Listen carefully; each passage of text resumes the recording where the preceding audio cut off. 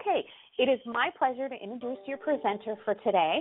Um, Alexis represents employees, in particular financial institutions, small employers, and nonprofit organizations, and individual employees in a wide range of employment disputes before federal and state courts and administrative agencies, including the areas of discrimination, harassment and retaliation, wrongful termination, constructive termination, wage and hour violations, breach of contract, fraud, defamation, and leave of absence law violations. He has both jury trial and appellate experience and has litigated employment cases for over 20 years. So he brings a wealth of knowledge to this topic. So it is my pleasure to go ahead and pass this over to you, Drew.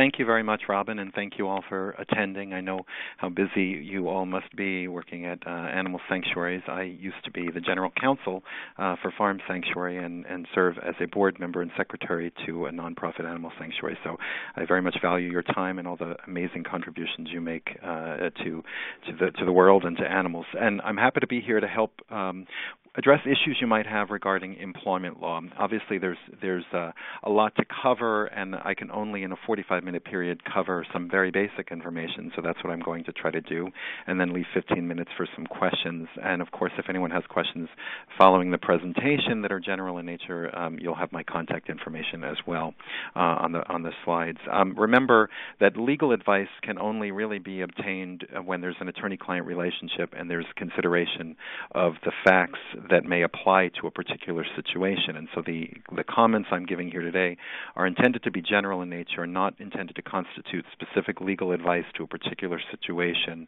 um, uh, that you may be addressing. And of course, in addition to that, um, we remember that uh, living in the U.S., um, we have both federal, state, and local laws. And so, um, obviously, I'm an attorney in California, and I'm very familiar with federal law as well as California law and some state laws. But any situation that you're dealing with really should be looked at from a perspective of uh, where the situation is arising, what state law or county or city uh, law may govern in addition to federal law. So those are just some general comments I want to give. Um, you're all here, so you obviously care about employment law, and I just want to reiterate why we think it's why I think it's important that you should care and that nonprofits should care about employment laws. Uh, and I'll use some acronyms: NPO for nonprofit organizations. Um, there, a lot of nonprofits think they may be exempt from various employment laws, um, and that's just not true. Nonprofits are generally not exempt from federal and state and county employment laws, uh, and compliance can be complex. So it is important to, to think about these issues. Um, and of course, nonprofits typically need to have employees and independent contractors, not just volunteers, to operate effectively, particularly as you grow. Um, volunteers are wonderful. Um, I'm sure many of you have volunteered and or are volunteers and work with them, but they can also be limited in terms of their reliability. And so we find that nonprofits often need to have workforces um, that uh, they're that are operating the uh, operations effectively. So it's important to know the laws that govern uh, employees and contractors contractors. Um, and in, despite that, uh, we like to think that everyone working for an animal sanctuary um, will get along well, will function well, will perform well, and have a terrific experience. That's not always true. Employees of nonprofits will, and they do sue their employers. And I've certainly been involved um, in lawsuits um, with nonprofits being sued um, for employment um, violations. Litigation can be embarrassing and really a PR nightmare, especially to a mission-driven nonprofit that focuses on compassion and and creating an image of goodwill, um, litigation by an, a current or former employee can really uh, cause concerns um, for donors, for example. And insurance may not cover liability, so it can be very expensive to be faced with employment litigation. And of course, of course, costs of non-complying with laws can be significant as well, not just litigation, but investigations by state agencies or the need to resolve and settle disputes. Taking donor money, in essence, um, uh, to resolve an employment dispute can be an unfortunate use of money and can be expensive. Um, so I want to kind of give a general overview of uh, why, again, on the same topic of, of what is an employment lawsuit. What do employees sue for when they do file lawsuits against nonprofits? And it's the same as in the for-profit world. There's contractual claims, tort claims, and statutory claims, and these can all be filed at various levels, both in federal and state courts, before uh, federal and state administrative agencies like the Department of Labor or the Equal Employment Opportunity Commission, um, more frequently by uh, employees in workers' comp appeals boards if there's a disputed injury claim, or, or in front of arbitration associations if the employer has an arbitration agreement with the employee that requires that they forego lawsuits in court. They can go to arbitration panels. And just some basic information about what these claims look like. Uh, contractual claims, employees typically sue for a breach of employment contract, although that's fairly rare because most employers don't have actual employment contracts with their employees, but some nonprofits actually do have those employment agreements. Um, they can sue for wrongful termination and breach of contract if there is such an agreement and there's a lack of good cause to terminate. They can sue for breach of contract um, and breach of the covenant of good faith and fair dealing. Um, employees can sue if they're being terminated to avoid the vesting in a benefit. For example, if someone was about to vest in an employer match on a 403b and the employer got rid of the employee before that vesting occurred, uh, that could create a claim for breach of the covenant of good faith and fair dealing. Um, and, and there's also tort claims. Uh, tort claims are broader than contractual claims. They include things such as wrongful termination in violation of public policy, the intentional or negligent infliction of emotional distress, fraud or negligent misrepresentation made by the employer about the workplace, for example, or about the salary being paid to an employee, um, invasion of privacy if the employer is illegally searching uh, employee information, for example, uh, defamation. Uh, this comes up often when the employee leaves uh, and is terminated, and there may be some disclosure that both invades privacy of the former employee as well as makes it difficult for them to get another job. Um, and then assault, battery, and uh, sexual battery uh, can also be uh, filed as tort claims against an employer. And the more concerning ones, of course, are the statutory claims. Um, the, the statutory claims are in these following areas. So there's the discrimination, harassment, and retaliation. There's both federal, state laws, and constitutional claims that can be asserted by employees. The federal laws include the ADA, the Age Discrimination in Employment Act, and the Civil Rights Act of 1964. And m- many of those cover larger organizations, um, and then state laws supplement that by covering some of the smaller organizations. So, for example, in California, we have a state law that it's broader than all of those uh, federal laws. Um, interference with, denial of, or retaliation for exercising a right to leave. Uh, again, there are a number of federal and state laws that authorize an employee to be absent from work. Uh, the Family and Medical Leave Act being the the most significant law that only covers large employers. The ADA may provide for time off as an accommodation to someone who has a disability that requires some time off. There's a, a myriad of state leave of absence statutes all across the country, some of which actually require paid leave, the majority, however, of which require unpaid leave, on a host of topics, including things such as literacy, education, rehabilitation for people who are addicted to drugs or have alcohol problems, time off to vote, time off to donate an organ or blood. There's various statutes that have to be considered. And then, of course, a recent trend is the adoption by states, cities, and counties of paid sick leave laws, uh, requiring that the employer provide paid sick leave to be used by the employee or to be used by the employee to care for an ill uh, family member. Um, and then another area of statutory claims employees file involve uh, claims for state and or federal wage and hour violations. This is probably the, what I see the most in nonprofits uh, because these laws typically, unlike some of the discrimination and leave of absence laws that may only cover smaller employers, these laws typically cover all employers, including nonprofits, um, and and com- their complex requirements uh, in, in the wage and hour field. And so these laws include the FLSA, the Fair Labor Standards Act, and I'm going to talk a bit bit about that uh, later as well because that's about to change. Um, and then there's of course state minimum wage and minimum salary laws. There's state meal and rest period laws uh, for which employers can pay penalties for noncompliance. Uh, state expense reimbursement requirements, wage deduction laws, what you can and can't take from an employee's pay and how you have to have authorization, for example. And then pay statement and pay date laws. Uh, there are some employers that accidentally pay too late um, after the close of the pay period, um, and and so uh, they may be facing penalties for doing so. So these laws are also very important to be aware of. And recovery can be extensive um, by employees. So, on the contract claims, it's not as extensive. It's usually limited to back pay, unpaid future wages, bonuses, interest, things that were deprived under the terms of a contract. So, these are not the exciting claims that lawyers are looking to pursue. Lawyers would rather pursue tort claims because those allow for those same recoveries of, of lost wages, um, as well as emotional distress damages, which are fairly nebulous and, and can potentially be a lot of money if, if a decision situation really was very, very troubling and required someone to get counseling, for example. Um, and punitive damages, and nonprofits can, of course, still be obligated to pay punitive damages if their behavior or conduct was particularly egregious or malicious towards an employee. And so a lawyer would love those claims, and even better if they can bring a statutory claim, because under the various statutes I've talked about, they can get all of those damages that they can get under contract and tort theories. And in addition, the attorney can get their fees paid by the employer. Um, and depending on the statute, there could be civil or other penalties, even even criminal penalties, as well as in certain cases what are called liquidated damages, which can be double or triple the actual damages. Um, and all of these penalty and liquidated damage provisions are designed to really ensure that employers are complying with the law and create an additional incentive or punishment for um, uh, so that employees uh, uh, do so uh, very carefully.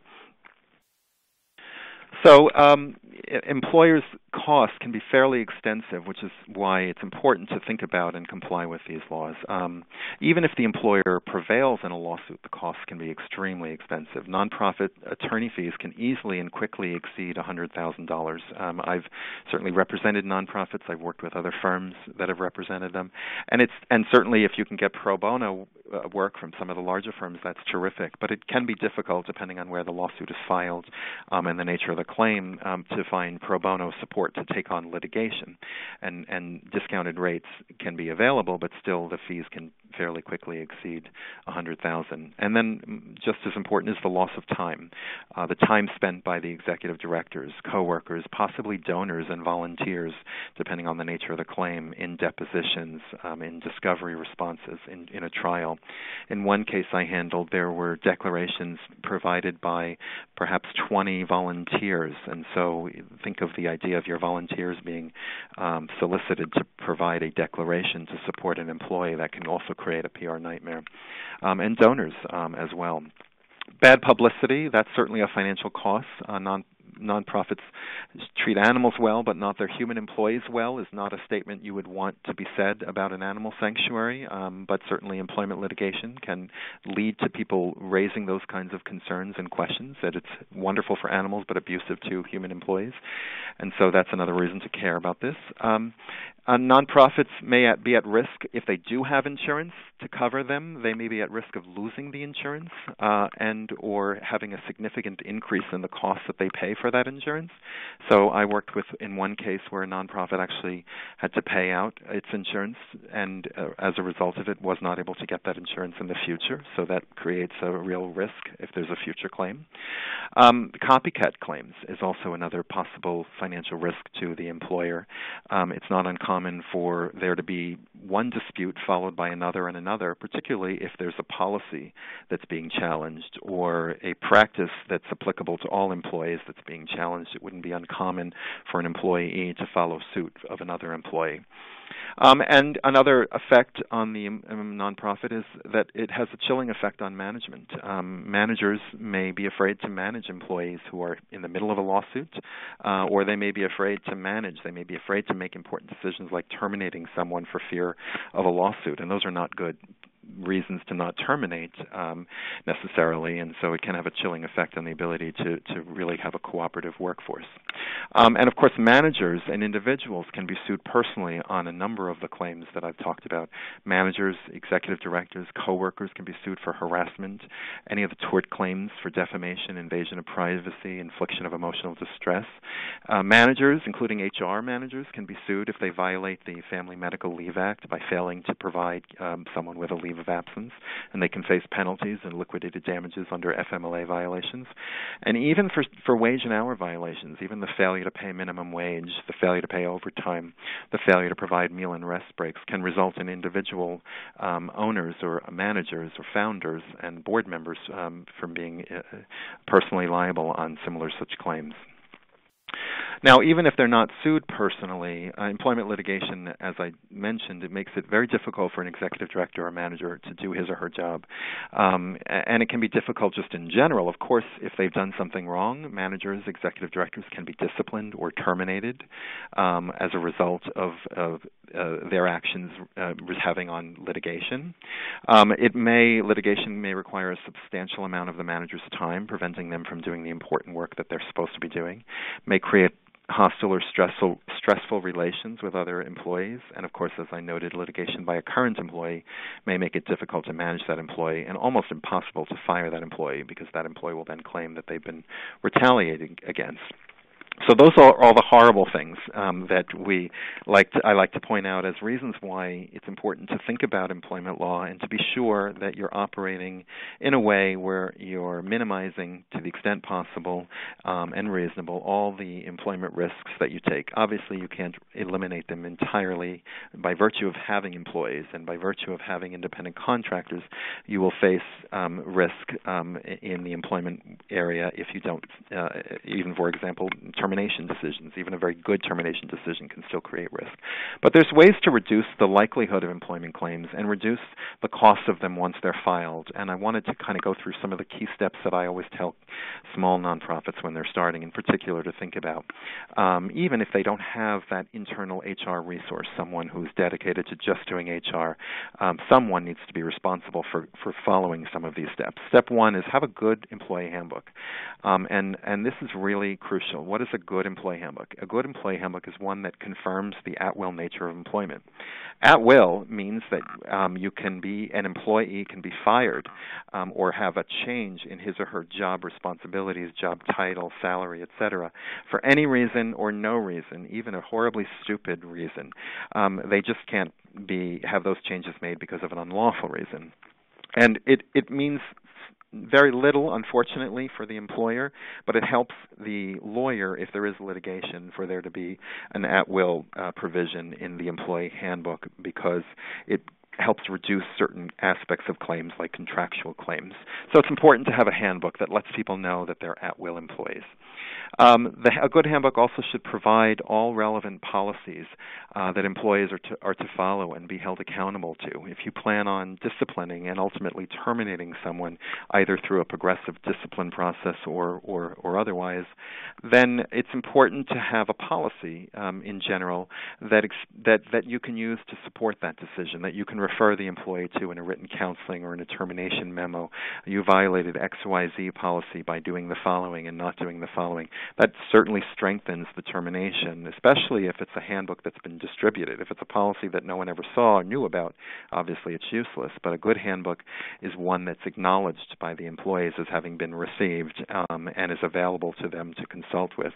Um, and certainly having a policy that you follow also helps with consistency to make sure that um, like situations are being treated in the same way so that you're avoiding claims such as discrimination. For example, if a male um, is treated treated one way and then a female does the same thing and she's terminated, that creates concerns about discrimination.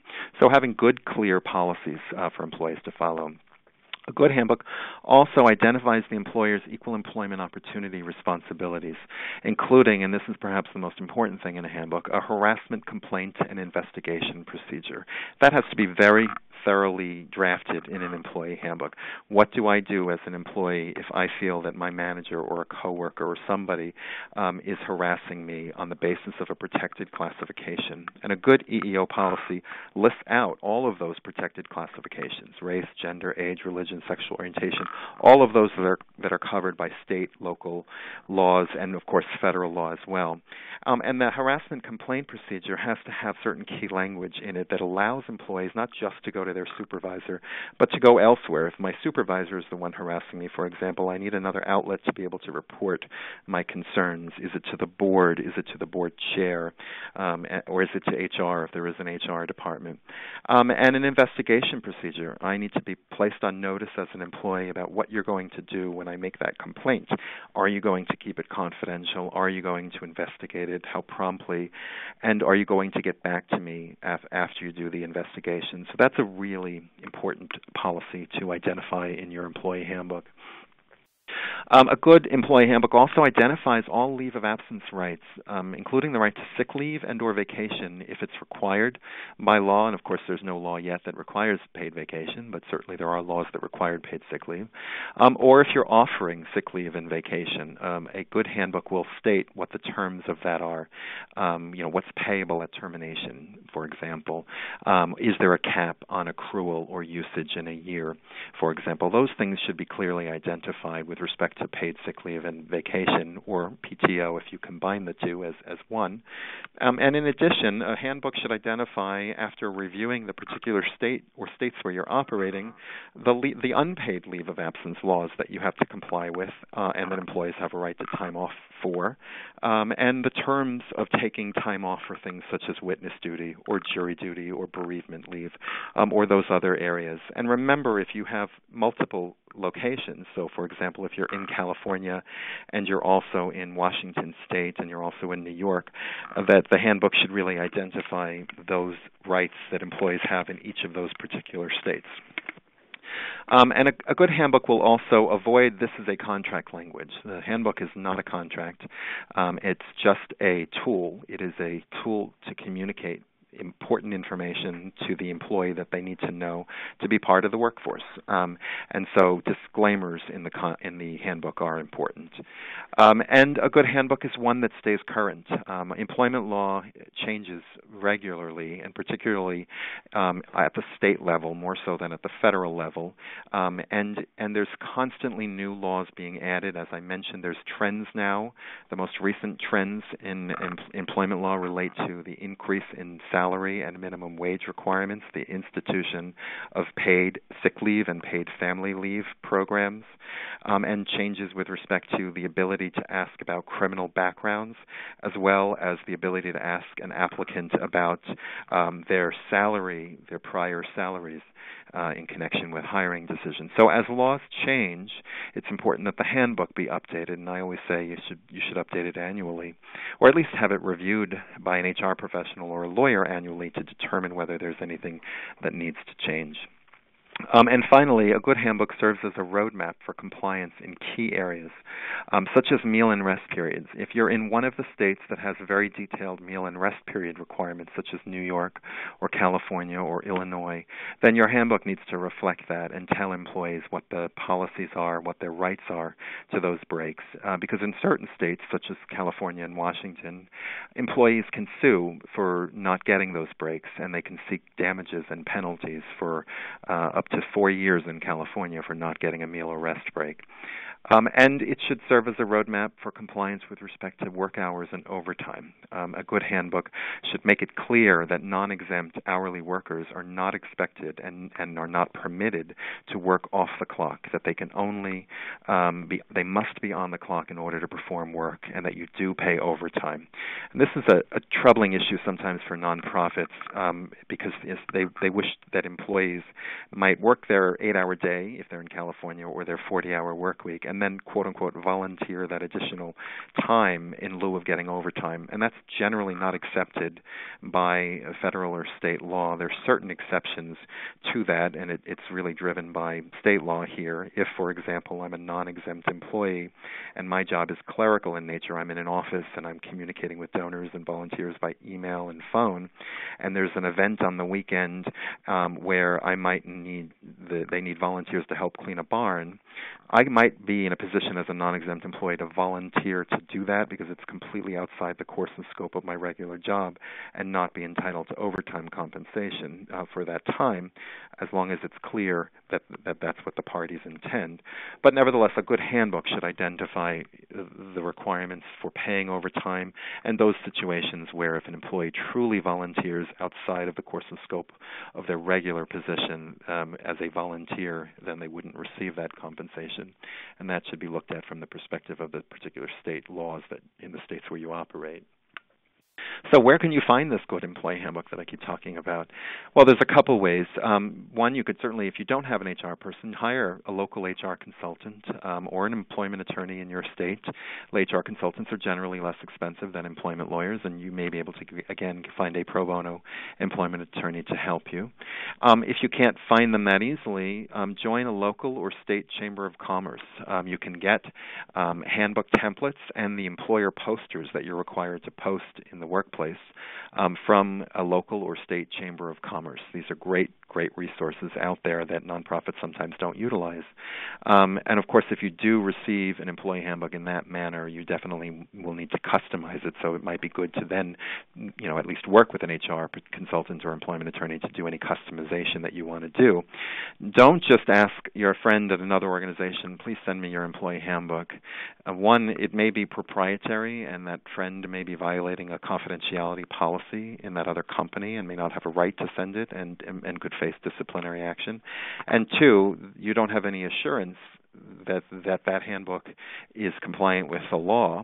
Um, if it's just sent to you by a friend that works at another organization, that organization may not have done the right steps um, to make sure they have a good employee handbook. So I, I don't recommend just getting one from another organization. Um, I think there's too too many risks associated with that in addition to having a good employee handbook, my key step two is have good standardized forms um, that you're using um, to treat the to treat the ordinary employment actions that take place. Employment application and offer letters are are important, so make sure you have a good one. Make sure your employment application asks the right questions and doesn't ask the questions you're not entitled to ask in your particular state. Uh, if you have disclaimers that you require in the application, such as at will or arbitration language about falsification, language about a background and or drug testing. Make sure that the application complies with the state law and that those disclaimer provisions are adequately stated. Um, and of course, a good offer letter template is very valuable. Don't hire anyone on an on, a, on an oral verbal discussion. Um, certainly, it should be documented in an offer letter that sets forth the key terms and conditions of employment. I have a really good template I drafted for nonprofits. So if anyone wants a template of an offer letter, I could certainly send that. Again, that's based on California, but it's fairly standard, so I think it would probably serve a good purpose. Um, hourly employee timesheets. Hopefully, your hourly workers are tracking their time. That's key in order to be able to pay them properly, and you have to, by law, track their time. Their time in in the morning, their time out for a lunch break, their time back after lunch is over, and their time at the end of the day should be tracked. Um, and it's important to have a good timesheet that also has the right disclaimer language language that by signing I'm I'm confirming that my time is accurate, that I've um, uh, not worked off the clock, that I've received all meal and or rest breaks to which I'm entitled under under the employer's policy. So language of that nature. There should be a place there for approval of overtime, um, so that if they are working overtime, it can be properly identified in the timesheet, and that supervisor is signing that the overtime was approved. That also helps com- with compliance if there's ever a claim that someone's not getting overtime. If you show there was a procedure for approval of overtime. A leave of absence request and related forms. So if you if you are covered in states that require that you provide leave of absence, whether it's pregnancy or family medical leave, jury duty, etc., um, having a, a, good request form that lists all of the leaves for which an employee may be eligible, where they can simply check a box and turn the form in. A good leave of absence request form will have also some good disclaimer language about the importance of providing documentation that may be required to verify the leave. Um, so, if it's a, a, pregnancy disability, are you asking for a medical certification? If it's um, a family care leave, are you asking for a doctor's note confirming that the employee needs the time off to care for the family member? If it's jury duty, are you getting a copy of the summons and some record that they're actually attending court proceedings? So, a leave of absence form can, can kind of identify what they're required to do in connection with their leave, as well as also make it clear um, whether you're going to require that they use um, available and accrued paid vacation or sick leave to cover for the leave, or if you're not going to require it, whether you're uh, allowing them to do so. And certain laws um, require that you let employees utilize accrued available leave, so it's important to kind of specify all that in these forms. Um, Meal period waiver forms in the states that require meal periods. There are many of those states, with I believe the exception of New York, allows the meal period to be waived under certain circumstances. And so, if you're in a state that has a meal period requirement, um, if if an employee wishes to waive that, you really should have that uh, in writing, and you should use a form that's written in a way to ensure that the waiver does is voluntary. Of course, it has to be voluntary. You can't force someone to waive a meal period, um, and uh, that they, they're signing that they understand their rights and they're choosing to not take that meal period. That's an important form. Um, makeup time request form. If you are in if you're in California you should have a makeup time request form if for those employees that are going to work more than 8 hours in a day to make up time missed in the work week without triggering overtime. Um, and then PIPs and counseling forms. It's a really good idea to have a standard form that you use if you're going to put people on a performance improvement plan. Have a good template for what that plan should look like so that every time you're going to put someone on a performance improvement plan you're using that same template um, and and that's key and the same thing with written counseling forms um, there's uh, separate forms that are utilized for both of those, and I certainly have templates of those too. Uh, let's see. Okay, step three: um, make sure you have good trained, a good trained executive director and, and managers. Um, and and so I had some thoughts on this. A, a, good manager is someone who hires based on the needed knowledge, skills, and abilities. Um, I have found that times that nonprofits don't do a good job of necessarily assessing the, those traits that make a successful employee in a role. They just a volunteer comes in, they seem great, great, we'll bring them on, or it's a friend um, or someone else in the movement. Um, and so that's not the way to hire someone. Um, it's not who you like or who you know, it's who you need based on the knowledge, skills, and abilities. And so make sure the job description is clear and that the manager is hiring based on those needed KSAs. Um, and a good manager shouldn't just walk away then and assume the employee is going to do a great job. Um, the manager must ensure that the employees have all the resources and tools that they need to perform the job, including ongoing training that may be required, um, uh, information that they may need about a particular animal, for example, or condition, a particular procedure that is going to need to be performed. Um, there should be resources for training um, for employees as well. Um, a good manager should work with employees to set measurable and reasonable goals for judging performance. It's not okay to go a whole year without conversations with your ma- with your employees about their performance. Um, people really value feedback, um, positive feedback, and of course, in particular, but even constructive criticism. Um, if you're waiting till the end of the year to tell someone they did a horrible job throughout the year, and you didn't give them that those conversations earlier in the year to help them understand and possibly engage in some corrective work to, to get up to those goals, you're doing them a disservice. Um, and so setting measurable and reasonable goals for judging performance very early on is very valuable. And consider doing it on a quarterly basis or every six months, uh, for example, so that you can it forces you to have conversations with your employees throughout uh, specific times in the year. I don't always think it's good to just wait till the end of the year for these performance reviews, but everyone hates them anyway. So I, I suggest doing it on a more regular basis. A good manager should also make sure that he that he gets he or she gets training for him or herself on leadership and on how to motivate and coach and counsel employees. Um, oftentimes, uh, nonprofits get people who are great at a job, and when they're great at a job and a manager leaves, they the best person who was performing under the manager all of a sudden becomes the manager. Um, and being great at at what you're doing is good, but it doesn't necessarily mean you have the skills to then manage other people uh, to do the same thing just because you know how the job is done. There's a there are certain characteristics and traits uh, involved in leadership and motivating and coaching and counseling, and so managers need that kind of training. Whether you bring someone in from HR to do a training, um, or you you there's certainly many resources available, um, books and literature about this that you can require managers to read uh, and, and come up with a training program for themselves Um, a good manager should hold employees accountable for misconduct or performance that's poor in a timely manner. The worst thing to do is to wait when dealing with these things, um, because when you wait, um, unfortunately, either the facts are not as clear. You didn't have an opportunity to retain a particular document or piece of information that was important to a counseling, um, or something happened in, in the intervening time that makes it more difficult to counsel them, like they they develop a disability and need to go on a short-term leave, um, or they make a complaint of harassment, and now you're trying to discipline them after those events, and and so they could claim retaliation. That the discipline is really not performance related; it's it's in retaliation for my recent complaint or my recent um, leave of absence. And a good manager timely documents important employment actions. So the, the same thing, I'm holding people accountable and documenting uh, in the right form in a PIP, in a counseling um, on a timely manner is, is, is very valuable. What else? And despite at will employment that I talked about before, a good manager is one who gives notice and opportunity before making termination decisions. Um, I'm always looking at recommendations from my clients to fire people, and I, I they and I've had clients say, "But we're at will," and I say, "Well, let me see what you've done to notify the employee of the problem." Obviously, if it's something that notice isn't necessary, like someone brings a gun to work and shoots a coworker, that you don't have to tell them you shouldn't have done that. Don't do it again if it's that severe, of course. But barring anything illegal, if the employee is engaging in some misconduct um, and or doing a poor job, then courts, juries in particular, don't understand at will, and they expect that you've been fair and reasonable, and that means you give someone notice. You tell them promptly what it is that they're not doing well and how it is they can fix it, and you give them an opportunity to improve.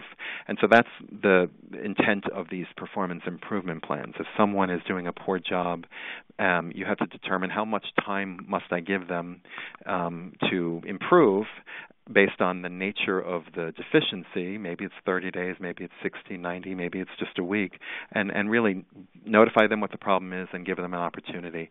If during that period they continue to make the same mistakes or engage in the same misconduct it'll be much easier to come back to say okay now we need to terminate you. We gave you this opportunity and it hasn't worked um, and so now we're taking termination action. Juries understand that and they appreciate that more Okay, a good manager is also someone who takes action consistent with the handbook and other policies. I mentioned the importance of a handbook and policy. It's important to follow the, the language in there. So if if you have an attendance policy that says, I have a client now that has an attendance policy that says five minutes, um, if you come to work five minutes late, you, you're tardy, and that's fine. It's legal, but is it really is it really something you're going to enforce? And are you not risking selective enforcement because you know, especially in a place like LA where there's so much traffic? And so I I told them in this one case they shouldn't enforce that policy because there was evidence of too many other people in the same department coming in late to work. And why are you singling that person out given your policy? So make sure your policy is of course reasonable, and in addition, then follow your policy. Don't just follow it for the one person who's under the microscope because you don't you're angry at them at the moment. Follow it for all of your employees. Um, and that leads to the last point, which is a good manager does take action that's consistent with treatment of like cases. That's the best way to avoid claims of discrimination, retaliation, is to ensure that that you're taking the same approach to addressing discipline or conduct with one employee than you are with another. And if you're not, then you need to be able to articulate a legitimate, non-discriminatory, non-retaliatory reason for treating two things differently, and make sure that that that's that sounds reasonable and that appears to be uh, a reasonable basis for treating two things uh, differently. Okay, um, number four, my key step number four um, is ensure you have EPLI. Um, I'm not sure if you have uh, if, if folks uh, have visibility to their insurance policy, but EPLI is Employment Practice Liability Insurance. It's usually part of your D&O coverage, your directors and officers coverage. And so it's very valuable insurance because it can help you if you are sued by an employee um, or you receive a demand letter from an employee's attorney threatening a lawsuit. If you have insurance that would cover the cost of the defense um, and get you an attorney, um, usually at, uh, paid by the carrier. Um, and so definitely look into EPLI. If you have it, make sure that the deductible is not too high. If the deductible is 250,000, for example, that means you're on the hook for the first 250,000 of legal costs before the insurance carrier picks up the rest. Um, and so you want a relatively low deductible. Um, and also you would make sure that it covers workers' comp retaliation claims. Um, some states have this procedure where employees can sue for retaliation um, in the workers' comp appeals board setting, and your and EPLI policies don't automatically cover that. If they don't cover those retal- workers' comp retaliation claims, then you're then you're stuck getting another lawyer involved and paying money to a lawyer for some bogus retaliation claim in the workers' comp setting. But if you have EPLI, you may be able to get the insurance carrier, the workers' comp carrier, to also cover the retaliation claim through that EPLI. Um, the next step is conduct regular HR related trainings. Um, it, it, you know, I don't know. Everyone has a limited budget for training, but training is valuable. Training can be required. Like training for certain employers um, for harassment is required in California, but even if not required, having an annual training or training at hire, for example, and a record that you keep of that training is really valuable to show that you're taking appropriate steps to inform the workforce of what's permitted and what's prohibited and what people can do when they have complaints. So the trainings that I think are valuable are um, harassment for sure, uh, anti-bullying um, training is another another key uh, training to provide, um, and possibly training of manager well training of managers on meal and rest period compliance as well as uh, on overtime and uh, wage and hour issues, and also conduct regular audits. Um, this is a valuable thing if you have a staff person. If you ha- are have an auditor, an outside auditor, they they rarely if ever, know the wage and hour requirements uh, or the other employment law requirements. They're looking more for things relating to documenting of board meetings um, and financial transactions and uh, accounting. They're not looking at compliance with complex employment laws. So don't assume that your regular outside audit firm if when they give you a clean bill of health on your on your financials has any knowledge of your HR risks and liabilities. And so it's important to think about doing an audit. You know for example do you do a personnel file audit. See if your personnel files are well organized and have the relevant documents. Do an I9 audit. Are you are you ensuring that all of your workers have legal documentation to be working? Um, doing doing a timesheet audit to make sure that employees are properly recording their time. Um, those can help you identify areas of risk where you might need to have some attention in training uh, or in policy development. Um, hire an experienced HR manager and director if you can afford it or spend resources on the person you're going to make responsible for HR to get training. Um, so many nonprofits don't have the funds to hire a senior level HR director. And so what they do is they have like a chief administrative officer, chief operations officer. Make sure that person, if you're not using an HR director, it gets some is accountable for HR compliance and gets the outside training that he or she needs to to do the job well. Of course, hire an attorney to advise on risky terminations if you're if you're facing a risky termination. Um, I also recommend spending money on proper background checks. If you're going to bring in employees, um, it, you're bringing them, you're trusting them into uh, into your home, in essence. And so it's important to think about who you're bringing in and what information you might need uh, in connection with uh, making a hiring decision of someone you don't know. And so background checks can be really valuable.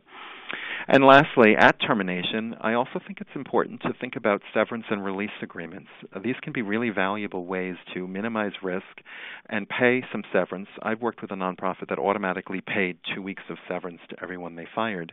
And I thought that doesn't make sense. If you're not getting a release from them, you're just giving away money. Why would you do that? If you're going to give away money like that, especially because it's donor money, um, why not get them to sign a release of claims so that they can't come back to you and sue you for something else? I've I've worked with employers that have paid severance, didn't get a release, and then still got sued. So don't assume you're creating goodwill just by giving people money uh, as severance. If you want to give severance, do it in connection with a, an agreement by which the employee releases all claims that can legally be released against you. Um, and always be ready for change. Um, federal employment laws don't change frequently, and state laws do. But note, a big change is coming to the Fair Labor Standards Act on December 1 of 2016. Um, and in that regard, it's the salary level. The salary level you're paying for exempt, what are called white collar exempt employees, professionals, executives, administrative, and computer exempt employees. It's increasing substantially. It's right now it's twenty three thousand six hundred and sixty, which is about four hundred dollars uh, a week, and it's changing um, from four fifty five a week to nine thirteen a week, or forty seven thousand four hundred and seventy six dollars, or three thousand nine hundred and fifty six dollars monthly.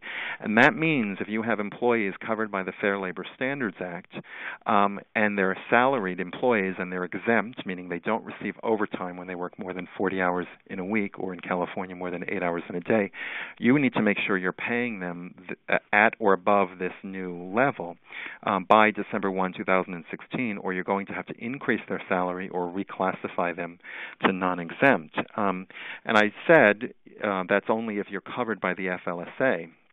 Well, the FLSA covers nonprofit corporations.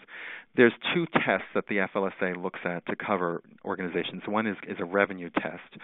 Um, and nonprofits usually don't meet the revenue test, which is you have to generate revenue of at least $500,000 a year. And because you're charitable in nature, you're typically not generating that revenue um, because you're providing charitable services. But if you have unrelated business income tax because you're operating a gift shop and you reach that level, then of course you would be regulated as an enterprise. But if you're not regulated as an enterprise, your individual employees, regardless of whether you're regulated, can still be covered by the FLSA. There's a good article uh, written by the Department of Labor. If anyone wants it, it's called Guidance for Nonprofit Organizations on Paying Overtime under the Fair Labor Standards Act. And it notes that individual employees may be covered if they're engaging in interstate commerce. And engaging in interstate commerce includes activities such as making out of state phone calls, receiving or sending interstate mail or electronic communications, ordering or receiving goods from an out of state supplier, and handling credit card transactions or performing accounting or bookkeeping for such activities. And so those are some pretty common things that a lot of people do, right? Making making out of state calls or receiving uh, or or sending email that goes out of state. If if if your employees are doing that, um, then they're covered by the FLSA, and you need to make sure you're covering paying them the right salary. And of course, in addition to the federal law that's changing, state, county, and city laws do change more frequently, and so be on the lookout in the future for changes and increases. Minimum wage is going up in places like New York and California.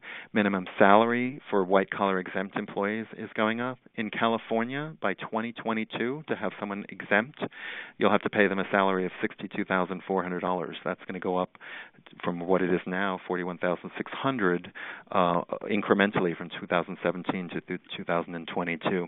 As I mentioned, paid sick leave um, and uh, paid family care leave is, is starting to be looked at, and then uh, limitations on certain background checks are coming. So, how do you stay on top of these changes? Well, one, join a local HR organization or Chamber of Commerce. Chambers of Commerce are great resources for learning about this. Two, sign up for an employment law firm blog. You can get sign up very easily on uh, some of the major law firms that publish um, annual, monthly, daily, even blogs on changes in the law.